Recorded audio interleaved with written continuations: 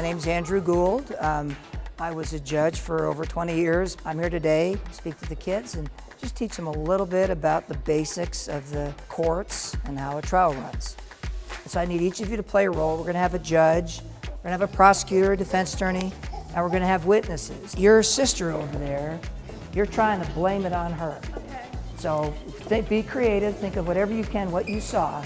But what you can't testify to is you can't say you actually saw her feeding the cat. The kids always, when I've done this before, they start to pick up on it more and more as it goes on. And so the witnesses get more and more interesting, start to kind of get into their character a little bit.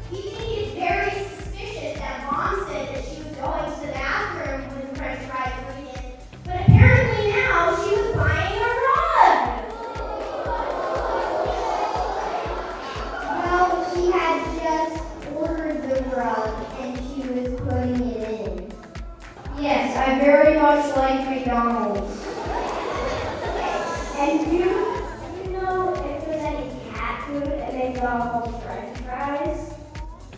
No, McDonald's makes our cat have diarrhea. Where were you during the scene? Taking a shower. Taking a shower at lunch?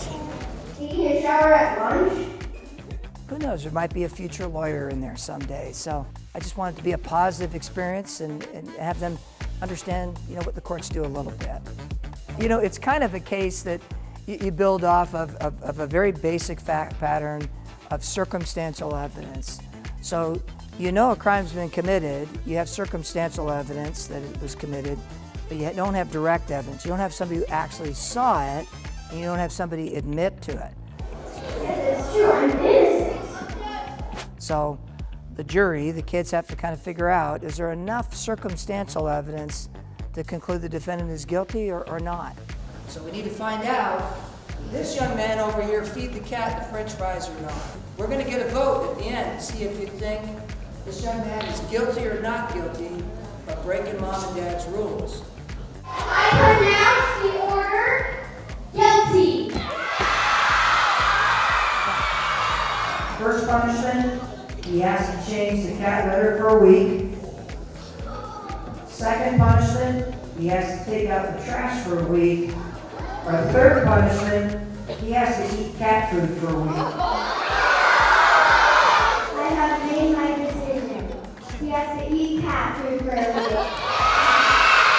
And it's interesting because when you listen to their comments, it's a lot about the demeanor and the way somebody testifies, which is true to form for a court. It's, it's much how a person says it is what they say. I think he was guilty because he was crossing his arm. I think that child number one ate the french fries. Why do you think that? Because it found other people's stories more believable. All right, thank you guys.